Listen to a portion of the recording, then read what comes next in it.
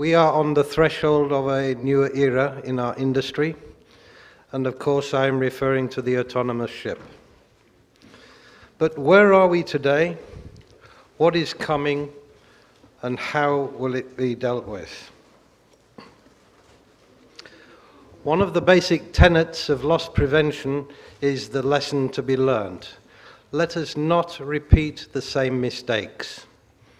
It is an area that I've focused increasing attention on in the last few years and on which I have written articles about in the maritime press.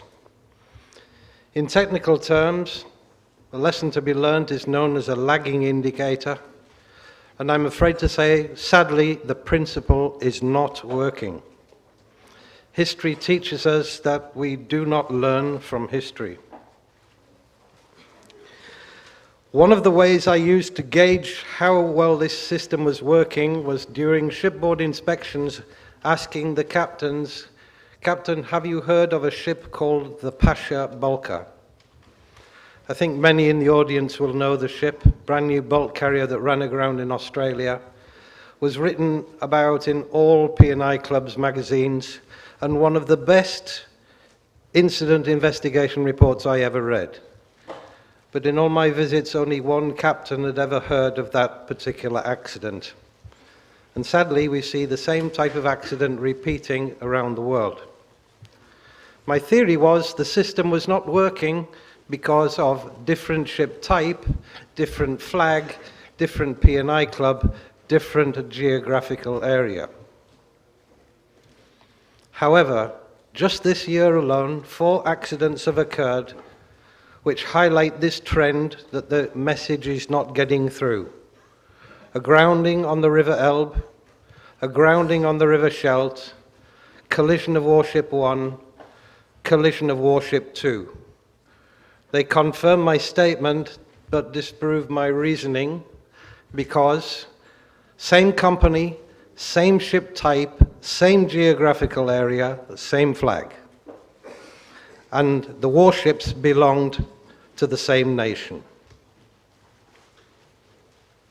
The River Elbe, a 140,000 ton container ship aground, and a ship of exactly the same company a few months later aground on the River Scheldt. And we've all read enough about the collision of the US warships, the USN John Fitzgerald and the John S. McCain. Normally, when a company suffers an accident, a serious accident, the message goes out, it's learned very quickly, and all steps taken to avoid repetition. There is the example of how it's not working. So, as I mentioned, we are on the threshold. And the buzzword that is around now is autonomous. This is going to herald in a new era of shipping, and it's going to turn many things on their head. What's going to happen to STCW? What's going to happen to Colregs? Who's going to be responsible for the ship? It's going to keep the lawyers going for years. The designers and the developers, have they considered history? If we go back in time to the 1960s, it was a time of tremendous uh, uh, changes in society. Starting with space exploration, new words started to appear in our vocabulary cosmonaut, astronaut, satellite,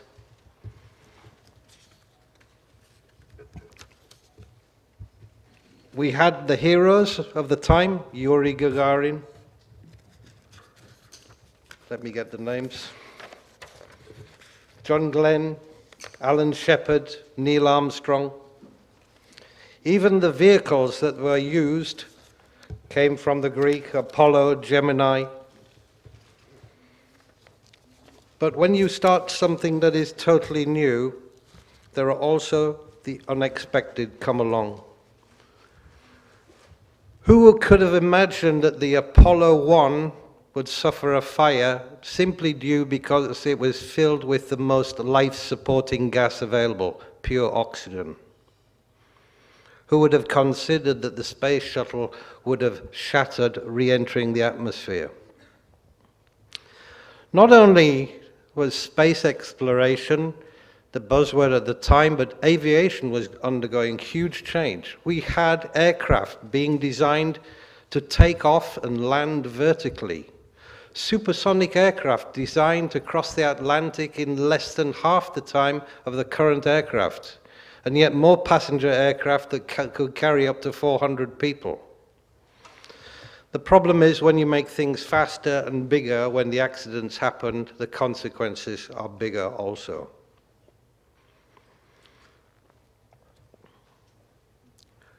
Shipping was not immune from these changes.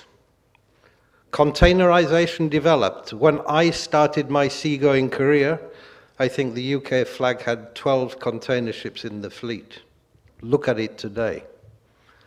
The VLCC was developed, and large roll-on roll-off ships. And again, the accidents followed. Shell's Mactra exploded due to static electricity when they're washing the cargo tanks. Who would have imagined that? So the question is, for the autonomous ships, what are the developers thinking of? Are they thinking of the unexpected, something that perhaps is not happening now quite simply because that type of problem is not around? Are they casting their net wide enough to ask experienced people in the industry if they've got any ideas that perhaps they have not thought about? There is a lot of talk about disruptive technology, but have the same people heard about disruptive regulations, or better said, chicanery regulations, disruptive personnel and training, and disruptive equipment? I talk about disruptive uh, regulations in chicanery because the regulators are very loath to be ahead of the technology. They tend to lag a little bit behind, to wait and see. And normally it happens that there is an incident before they take that regulation a step further.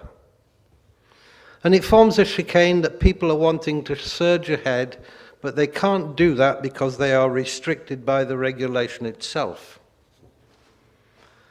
disruptive personnel, we hear an awful lot about comments and complaints about the competence of the officers on board.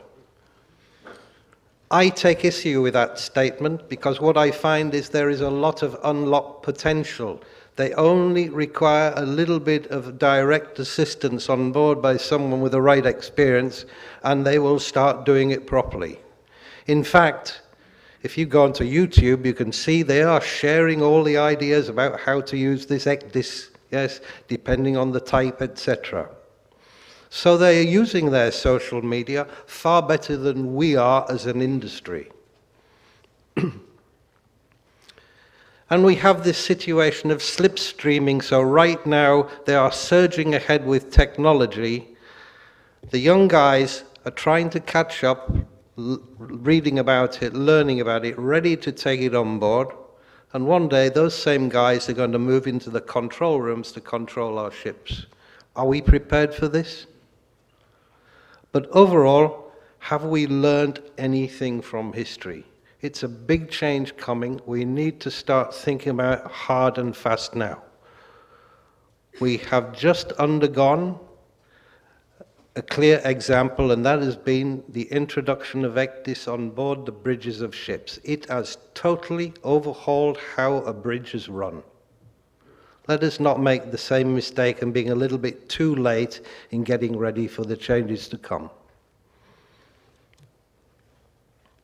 So to close on a lighter note, Rule 2 of the COLREGs will be very complex to deal with for the algorithm writers, and I would like to help with my own set of COLREGs.